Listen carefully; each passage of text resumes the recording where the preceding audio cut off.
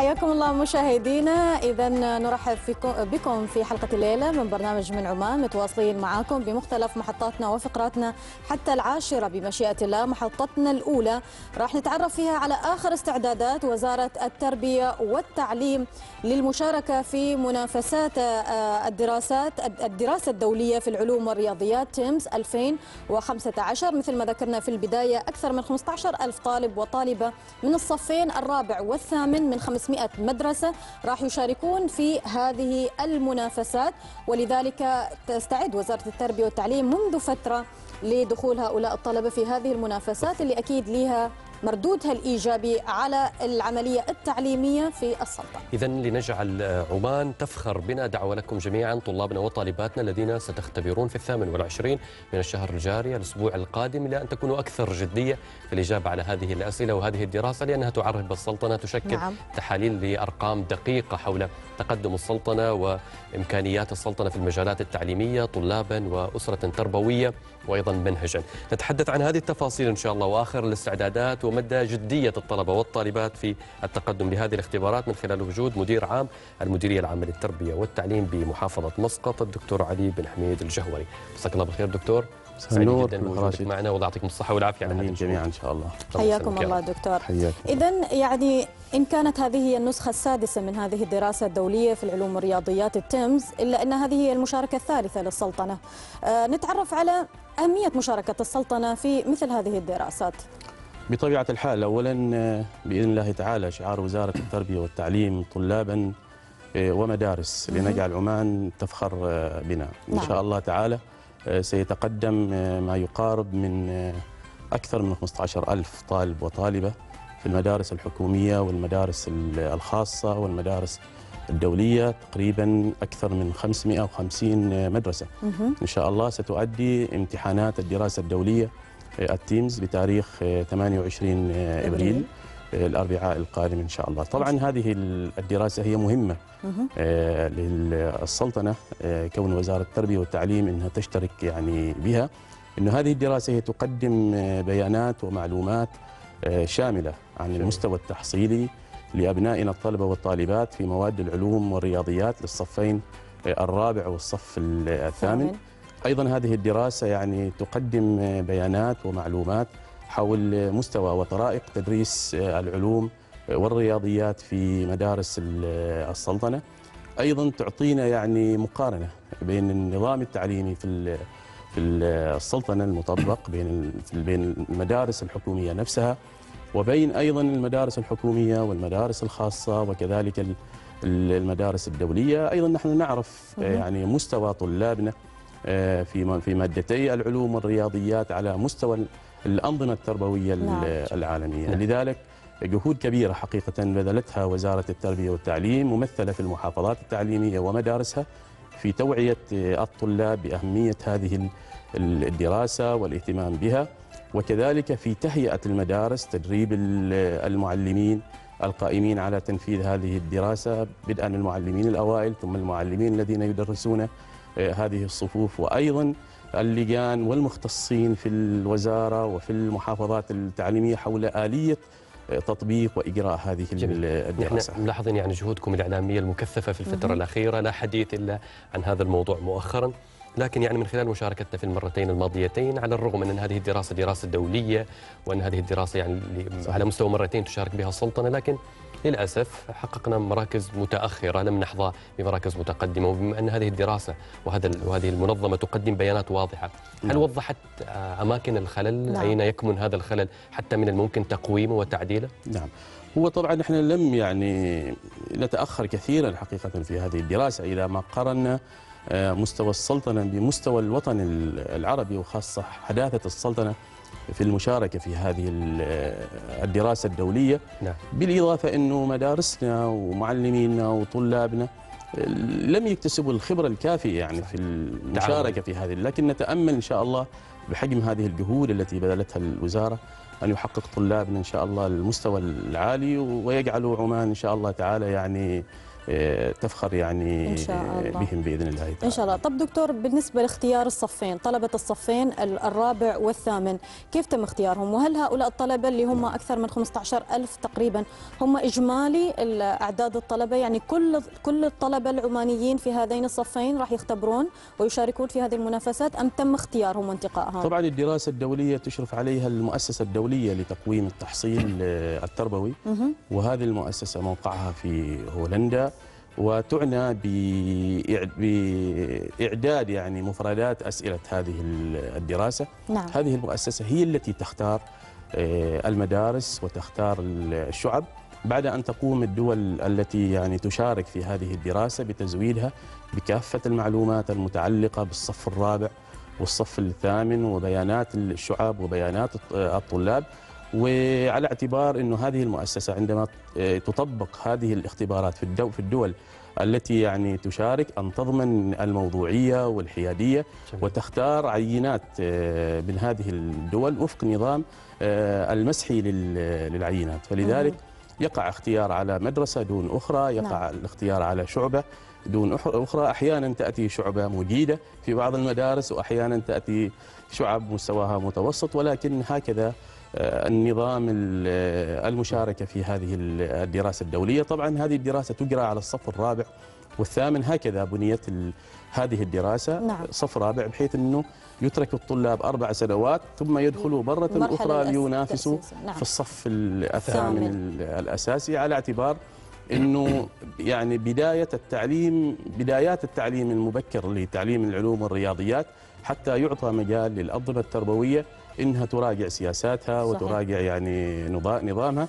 إذا كان لديها أي خلل أو أي جانب يحتاج أنها تركز عليه في تدريس العلوم والرياضيات نحن نلاحظ يعني دكتور علي أن طلابنا في مجالات مختلفة متعلقة خاصة بالرياضيات والعلوم يحققوا مراكز متقدمة نعم. على مستوى حتى مشاركاتهم يعني الخارجية.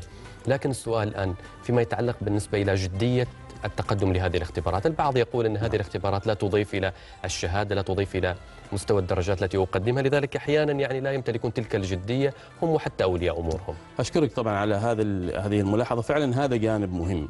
وهذا الجانب اللي فعلا يعني نحن والوزارة تسعى إليه من خلال آه، التوعية الإعلامية للطلاب. طل- طالب لابد أن يجعل يعني شعاره لنجعل عمان تفتخر بنا. هذه سمعة هذه الدولة سمعة نظامنا التعليمي تبرز حجم الجهود التي تبذلها السلطنة في مجال آه، التعليم فيفترض من أبنائنا من طلابنا من مدارسنا أنه فعلا يعني يعوا أهمية هذه ال- الدراسة وما سيترتب عليها من يعني تطوير لنظامنا. التعليمي لأنه أيضا ضمن يعني يعني سياسات تطوير التعليم إنه هذه الدراسة تعتبر مرجع يعني أساسي لدى ال- الوزارة تعتمد عليها في تبني سياستها التعليمية في تطوير العملية التعليمية في وهذه الصف النقطة الأهم دكتور واللي أيضا وجب توضيحها للمشاهدين اللي خاصة يتساءلون مع هذه الحملة الإعلامية المواكبة للمشاركة في هذه المنافسات أن هل الهم هم وزارة التربية والتعليم والهدف آه، ال- الأسمى لها أن هؤلاء الطلبة يحصلون على آه، درجات أو أن هم يحققون نتائج عالية أو الهدف اللي هو تطوير المنظومة التعليمية من نعم. خلال مشاركة الطلبة في هذه المنافسات وبطبيعة الحال يعني أهمية هذه هذه الدراسة إنها ستعطي المجال للوزارة من خلال التقييم الشامل للنظام التعليمي الذي سيرد إن شاء الله من قبل هذه المؤسسة أن الوزارة تراجع يعني. سياستها التعليمية ونظامها التعليمي في تدريس العلوم والرياضيات وتبني سياسات إن شاء الله مستقبلية على هذه على نتائج هذه الدراسة وبالتالي يجب أن تكون النتائج حقيقية صحيح. وليست نتائج يعني مضللة يجب أن الطلاب فعلا يركزوا على هذا الجانب ويستشعروا. يعني نعم. أهم أهميتها وإن شاء الله تعالى بحجم الجهود التي يبذلها الأخوة والزملاء المعلمين والمعلمات في ال- في ال- المدارس جهود الوزارة في هذا الجانب إن شاء الله تعالى نحن متفائلين إن شاء أن الله. يحقق طلابنا المستوى العالي إن شاء الله. بالنسبة آه، أيضا وزارة التربية والتعليم آه، خلال الفترة الماضية قامت آه، في على مستوى المحافظات ب يعني الطلبة أدوا اختبارات تجريبية صحيح. في في هذه البث. نعرف هذا الجانب وأيضا نتائجهم صحيح. في في هذا الجانب. هو طبعا اولا مسار هذه الدراسة على سبيل المثال هي لها منهجين، المنهج الأول المنهج التجريبي. نعم. وهذا تم تطبيق هذه الدراسة في صورة آه، صورة مسح تقريبي كان العام الماضي في نفس هذه الفترة نعم. الهدف من هذه المؤسسة أولا أن تطبق المسح التقريبي حتى تتأكد يعني من آه، من أدوات القياس التي تستخدم طبعا أدوات القياس الاختبار نعم. واستبانات في استبانة للطالب في استبانة للمعلم في استبانة لإدارة المدرسة في استبانة للمناهج واستبانة أخرى لولي الأمر اللي هو. التعليم. المبكر نعم. فهم طبعا هذه المؤسسة الدولية التي تعنى بتقويم التحصيل التر- التربوي تريد تتأكد هل هذه الأدوات القياس تتوفر فيها الموضوعية تتوفر فيها الصدق يتوفر فيها الثبات بحيث لو في إمكان يعني إنه يعني تراجع هذه الأدوات بما يتناسب وبيئات التعلم في الدول ال- المشاركة، فطبعا العام الماضي آه، اجريت أجري المسح التجريبي وكانت النتائج الحمد لله يعني نتائج مشرفة ولكن ليس في جميع المحافظات، كان في ست محافظات، باب استعداد المحافظات التعليمية هذا ال- العام. بادرت المحافظات التعليمية بالتنسيق طبعا مع المديرية العامة للتقويم التربوي مشكورة. أعدت اختبارات تجريبية للطلاب منذ أسبوعين. نعم. حتى أيضا نهيئ طلابنا لهذه الاختبارات ويتعودوا على مفردات الأسئلة ونمطية هذه ال- الاختبارات وحتى نكسر حاجز الخوف والرهبة. حلو. وأيضا هم يتعودوا على يعني الأجواء. نظام إيداء الأجوبة على نعم. على كراسات خاصة أنه نظام الإجابة على ال- الاختبار الدولي بيكون على شكل كراسة. كل كراسة فيها مجموعتين. الرياضيات مجموعتين والعلوم يعني مجموعتين. وبالتالي الطالب لابد إحنا كيف كانت. النتائج؟ النتائج كانت حقيقة جيدة. حتى بعض الطلاب أنا أتحدث عن محافظة مسقط حصلوا على 480 يعني درجة من 500 جميل. درجة. وأنا أوجه شكر حقيقة للمعلمين والمعلمات وإدارات المدارس الذين تفاعلوا حقيقة مع الاختبارات التجريبية. وهيئوا الطلاب وصححوا هذه الاختبارات واستخرجوا النتائج بل بعض المدارس بادرت بتكريم الطلاب المجيدين ممتاز.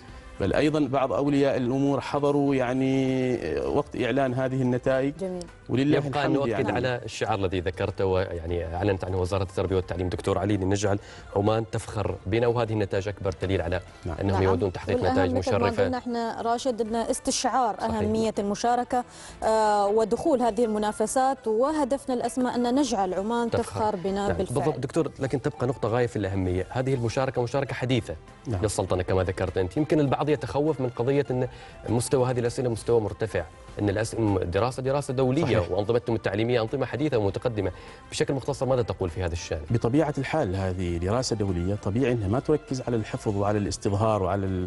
تركز على القدرات العليا تركز على مهارات التفكير لكن درسها الطالب في تركز على البرهنة تركز على الاستدلال. مناهجنا تؤهله لأن يخوض هذه ال- المناهج آه، بطبيعة الحال إنها يفترض إنها تكون يعني آه، مؤهلة إنها مهم. تعد طالب خاصة إنه تدريس العلوم والرياضيات هو ليس يعني منهج محلي هو منهج دولي. دولي, دولي. وبالتالي طالب الصف الرابع أو طالب الصف الثامن ويمتلك مهارات وكفايات دولية. نعم. فيفترض إنه مناهج السلطنة هي نسخة من المناهج الدولية العالمية وهذا صحيح. طبعا ما سعت إليه وزارة التربية وهذا والتعليم الهدف يعني. من مشاركة وهذا الهدف السلطنة أيضاً من في مشاركة مثل هذه إذا ما كانت الدراسات الاختبار يوم 28 النتائج متى من المتوقع أن تكون؟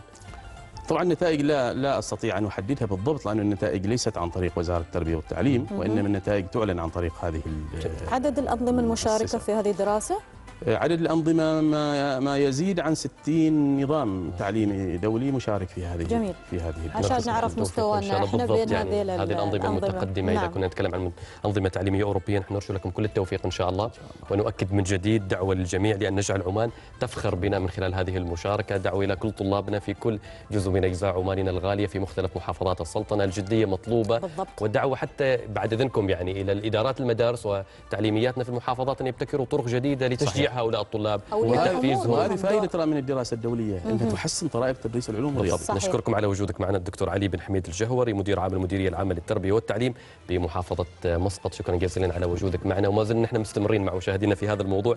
تأكيد لشعار لنجعل عمان تفخر بنا. نحن حضرنا لكم تقرير مشاهدينا يتكلم عن موضوع الدراسات الدولية آه، إجمالا ويتكلم عن مشاركة السلطنة في هذا الموضوع. إذا ما كان التقرير جاهز نأخذ هذا التقرير. بعدها راجعين لكم وزميلنا أحمد الكعبي وجديد عالم وأخبار الرياضة.